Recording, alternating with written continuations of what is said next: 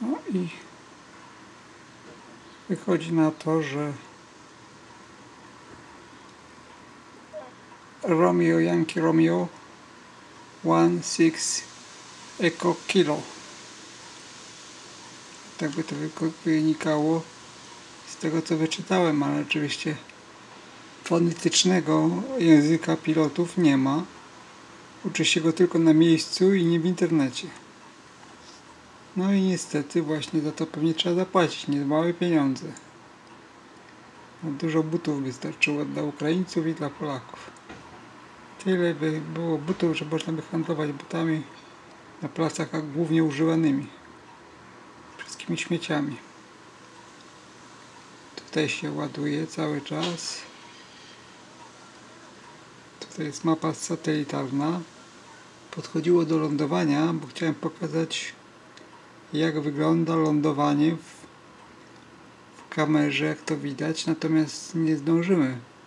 Zanim się te koordynaty zalogu, załadują, loading co coordinates may take up to 16. No. 16. Oczywiście chodzi o age, a nie o age. Ojejku, jejku, jak to było z tym językiem, to by się wszyscy pozabijać. Z powodu języków. Wstawiłem sobie te skróty pilotów do tłumacza Google'a i patrzyłem jak odczyta w różnych językach.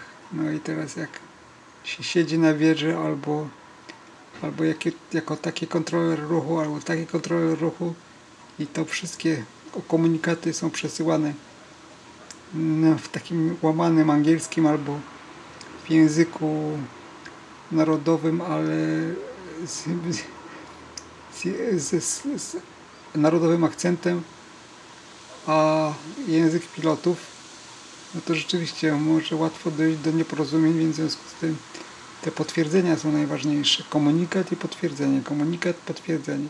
Komunikat, potwierdzenie. Ale nawet nie ma potwierdzenia, potwierdzenia. Potwierdzenie, potwierdzenia jest tylko w jednym przypadku. Nie pamiętam teraz w jakim, ale nie jestem pilotem, więc w związku z tym nie muszę pamiętać. Nie wybieram się w żadną podróż naziem, naziemną.